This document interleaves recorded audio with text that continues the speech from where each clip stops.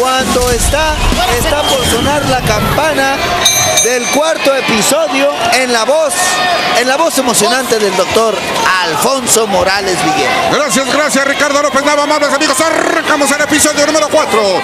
En alguna ocasión le preguntaron al maravilloso Marvin Hagler, nacido en Brockton, Massachusetts, por qué subía y peleaba rapes y tenía cabello. Dijo, porque pelón, produzco más temor en mis oponentes y ve nada más cómo está yendo este hombre que va rape frente al veneno rubio que está retrocediendo, un hombre que le hizo cuerpo a cuerpo,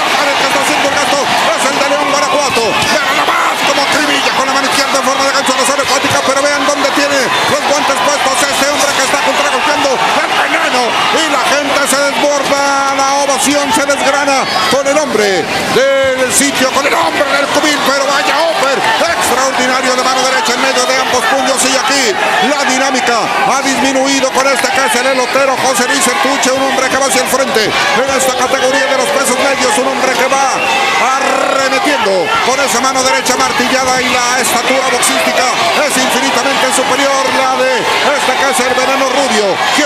¿Quiénes recuerdan a David Cotay y el veneno cuando enfrentó a la leyenda, al impresionante Rubén el Púas Olivares, cuatro veces campeón del mundo en dos diferentes divisiones cuando la mano derecha martillada la tiene este que es el veneno y vaya mano derecha de gancho a la mandíbula.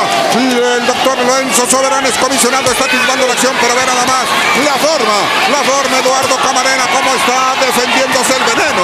Golpes de knockout, disparan golpes para terminar la pelea, golpes con toda la fuerza, con toda la potencia, un combate explosivo, cuarto round y la pelea está formidable, doctor, aquí en Irapuato. Amables amigos, en la en la primera confrontación, la pelea pasó del octavo episodio y hey, oye, amables amigos, no va a ser la diferencia, no va a ser la excepción, porque es cuando el oxígeno empieza a disminuir.